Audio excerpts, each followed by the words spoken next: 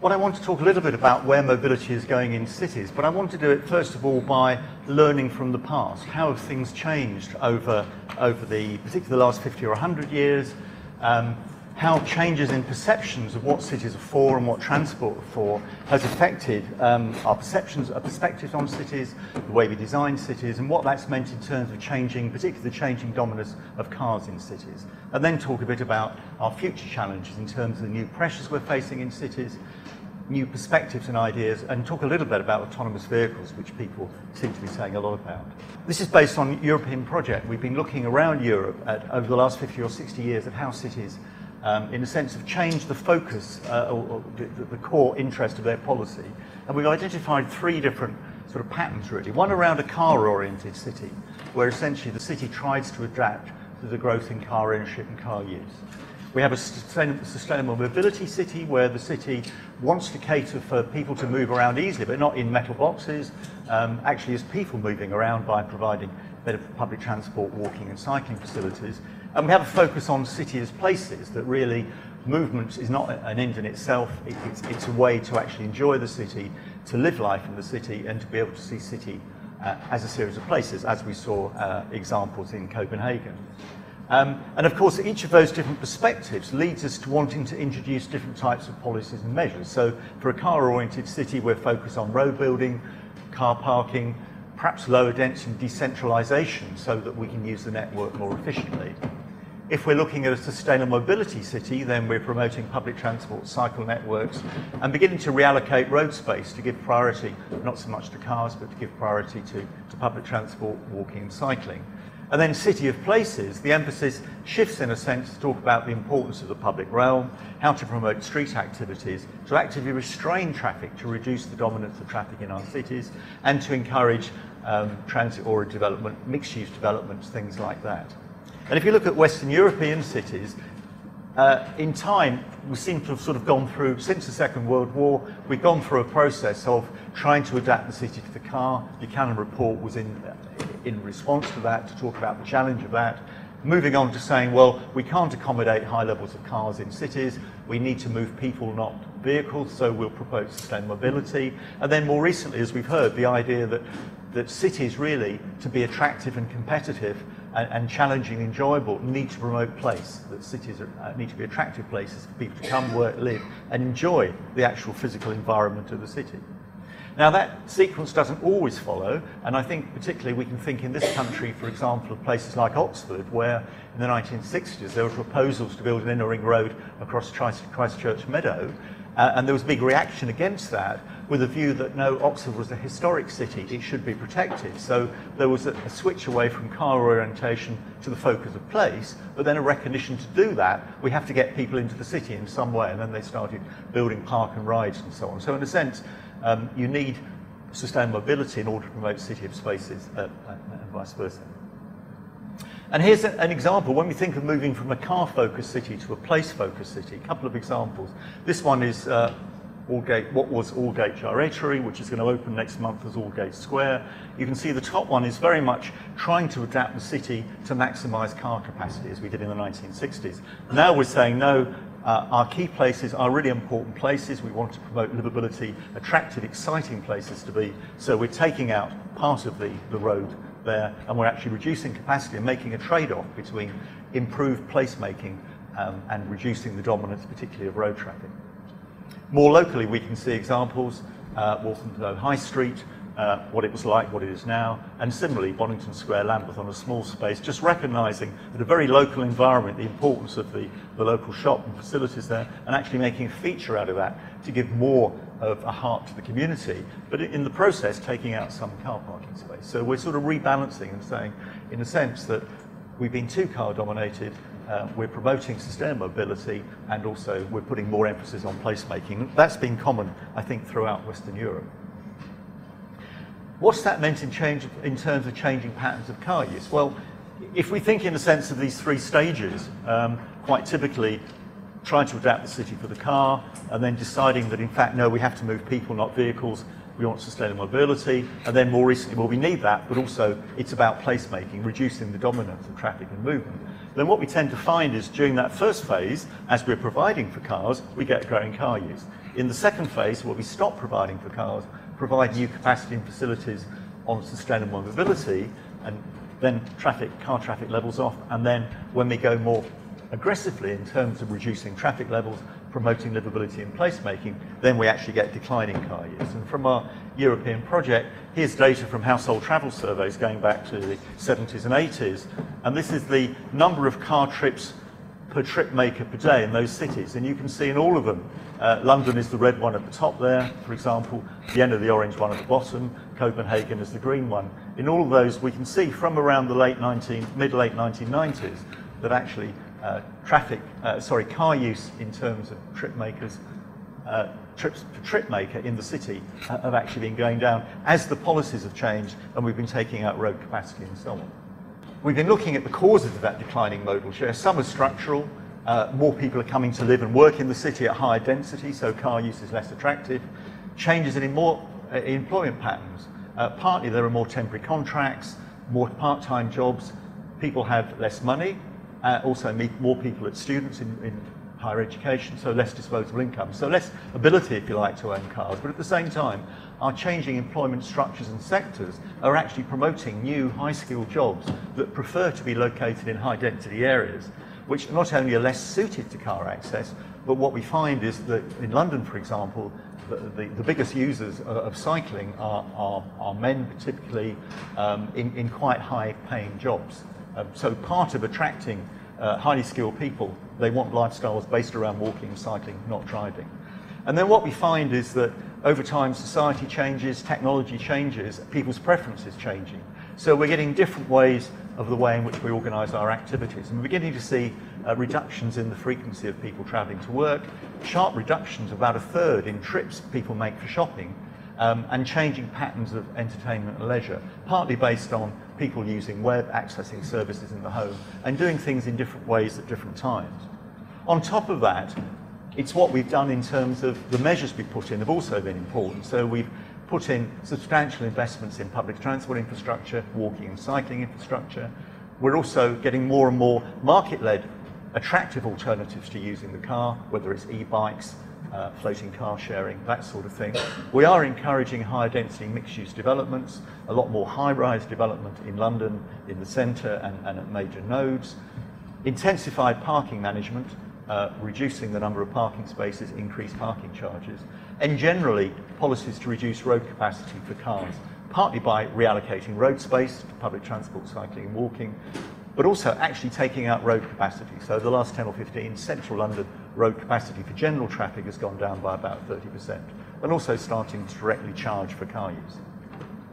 On top of that, at a more macro level, what seems to be happening is if you look back over 40 or 50 years, car traffic levels in the city as a whole go up and then sort of level off. And the growth then tends to be on public transport because if we stop providing more road space, at some point it reaches capacity. If we're investing in better public transport, walking and cycling, the growth goes on to there. And in fact, in London, where we've taken out quite substantial road capacity, actually car traffic levels are, are going down to some extent, not just levelling off. Now, one of the questions we've been asking ourselves is, looking at Northwest Europe, is if we're thinking about cars in cities and the future of cities, is this ev evolution we see in Western Europe inevitable? Because clearly we can see that uh, in some parts of the world, North America, to some extent in Australia, um, you can still get many cities that are almost entirely car-based. And, and even in cities like London, once you get to the suburbs and rural areas, still a very high proportion of trips are made by car. And this is a, a, a, graph taken from one of our MSc students a year or two ago, um, which is based from UITP data from 1995. It's very old data, but it's quite detailed data. This is not time along the horizontal axis, it's GDP per capita. And on the vertical axis, proportion of trips made by residents in a privatized motorized vehicle. That might be car driver, car passenger, motorcycle, whatever. And you can see three clear, uh, clear clusters below 10,000 um, US dollars per capita, then in fact the proportion of motorized trips are all over the place because in, in some cultures a lot of people use mopeds and so on, others they don't. But above that point, you can see at a point in time, cities of increasing wealth tend to be on two very different trajectories. The, uh, the North America example in particular, where cities become wealthier, a higher and higher proportion of trips are made by car, continuing the car-based city, and in the European ones in particular, cities of increasing wealth, at some point car use peaks and then goes down. Now, what are the core conditions for being able to go from car-based to mobility and place-based? You need a minimum land use density and, and, activity concentration to support public transport and local walking and cycling. Interestingly, the evidence suggests you need an equilibrium between average door-to-door speeds by car and by public transport, or at a very local level between walking and cycling, and also strict levels on car use. So the more we go down the road of adapting the city or the city growing around the car, the more difficult it is to, to change that, or the longer it takes, because the city is morphing into a shape that suits the car and doesn't really suit um, public transport or necessarily walking or cycling. And here's some figures from London that make the point. Uh, this is going over the last uh, 11 years. These are average door-to-door for residents across the whole of London. These are average door-to-door speeds by different modes. And you can see, roughly speaking, the door-to-door speeds in kilometres per hour for uh, rail and underground are something like 12, 11, 12, 13 miles an hour door-to-door, roughly correspond with the average door-to-door speeds by car driver and car passenger. Okay, future challenges. And, and I think that the main thing here is to decide what sort of cities do we want to create and live in. Um, do we want a car-based city? Um, do we want a city around mobility but still rather movement dominated? Or do we want cities that really focus around high quality places in which sustainable mobility can support that, uh, that vision and that realization? And I think there are a number of pressures on cities um, as we're moving forward. Uh, continuing congestion overcrowding. Um, as cities grow, then um, even public transport networks, or in Copenhagen, the cycling networks are becoming overloaded. Um, potentially, we need to think about taking stronger measures if we actually want to reduce car dominance because low-hanging fruit has already been picked. Interestingly, with, with our mayors in London, other cities in, in Britain, they have much more cross-sector responsibilities. So their visions are not about mobility, they're about the sort of city they want for their citizens. We're all facing the question of autonomous vehicles and other technological developments. At the same time, there are opportunities and pressures from big data, more sensors, and also the idea of smart city initiatives. And what we're beginning to see in, in dialogues in London, other cities in, in Britain and in other parts of Europe, and recognition that obviously transport um, and land use are linked, but more generally, transport's a derived demand. So really, it's not decisions taken by traffic engineers or transport planners that determine how much traffic's on the network, other than through restraint. It's what the health service decides, the education sector decides, uh, the various different industries and sectors decide. So there's a question of can we work together? We're beginning to get stronger governance administrative structures at metropolitan level, um, and also ideas about what we can do and what we want are beginning to change. And I've quickly run you through the idea that in Northwest Europe, we've, we've had a car-based city, that's moved on to a sustainable mobility city, that's broadened out to actually say the focus is on city of places. Where are things going? And one suggestion is that we're moving towards the idea of an integrated city. And we can see early examples, so mobility as a service is an attempt to look across all transport modes, door to door, travel times, prices and so on. Can we actually integrate that and offer that as a package? accessibility planning has been around for a while, but the idea is can we actually join up transport, land use, but also the services that are offered. So we actually offer people uh, service, whether it's physically, virtual, mobile, whatever. And of course, the sharing economy is getting to bring us together and to, to share resources and so on. We're beginning, academics have been developing new analytical methods. Sociologists have been working on socio-technical systems to show how changes in society come about by combinations of new technology but also different social and business practices that work together. An example I give my students is if you look at retail, for example, from a transport point of view, you can say, right, 50 years ago, everybody walked to the shops every day for fresh food. Um, then they all went by car once a fortnight to the supermarket, and then more recently they get it ordered by van.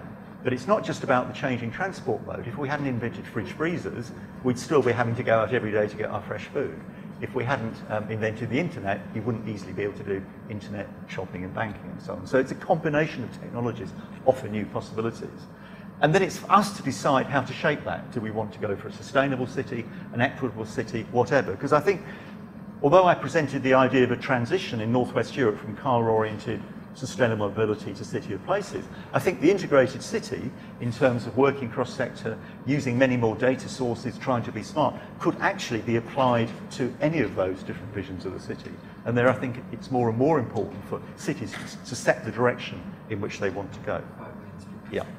So finally, a couple of slides about the future and autonomous vehicles. A lot of talk about autonomous vehicles. Um, this is one image of what it might be like, etc. And I think this is a really important thing for cities. Essentially, will we end up with sort of car utopia? Will, will autonomous vehicles actually make cars uh, a more effective and, a more uh, cooperative part of what we're trying to achieve for the city? Or will we, will we end up with dystopia? Sorry, it should be a Y. Um, what we're told is electric autonomous vehicles will be safe, clean, quiet, efficient use of road space, we can use our time productively or enjoyably, and it will be available to all people. It'll be cheaper, um, they won't have to have a driving license. That's the positive side. But the question is, will that actually encourage the re-emergence of sort of car-based cities, if you like? Um, mobility as a service is designed to encourage more vehicle-based door-to-door mobility. So will it lead to reductions in walking and cycling? You just press a button, there's a vehicle outside for you, drops you off at the other end. Will it lead to increasing obesity rates? Will autonomous vehicles make car use more attractive? Um, less stress, you've got more time to work, but as a result of that, leading to more demands for movement by, by car, leading to more demands for carriageway space, and people starting to say, well, look, you know, we don't need bus lanes anymore. People aren't using buses anymore, or maybe even cycles. So will we back to the pressures that were in the 1960s to actually get out, get rid of trams and things like that because everybody wants to be in a, a safe autonomous vehicle? And we could end up with pressures to actually go back to the 60s and put back segregation. So, for example, uh, the autonomous vehicles are designed not to run down pedestrians and cyclists. So in places like London, if pedestrians and cyclists know they can walk out in front of vehicles and they'll stop, then I'm afraid that's what people will do. Then there'll be pressure to say we have to put back guard railing Otherwise, the traffic will come to a halt. So I think there are some quite serious things, and obviously it might lead to de decentralization of cities because if you can have a sleep in your vehicle into work or whatever, it doesn't matter maybe if the journey is an hour, hour and a half. So I think there's a general view emerging that cities need to be proactive in shaping their future and actually seeing how we can take advantage of these technologies to deliver the vision we want rather than dominating. And the way I would say that, in a sense, is uh, that we ought to use an approach that's technology-fed to deliver what, we, deliver what you want rather than technology-led. Okay. And that then leads back to the question about what's going to happen to car levels in the future. Are we in post-peak car or will we return to growth? Have we reached saturation? Will there be further declines? And obviously that has huge implications for how we manage the road network and also the dominance of vehicles within our cities. Thank you very much.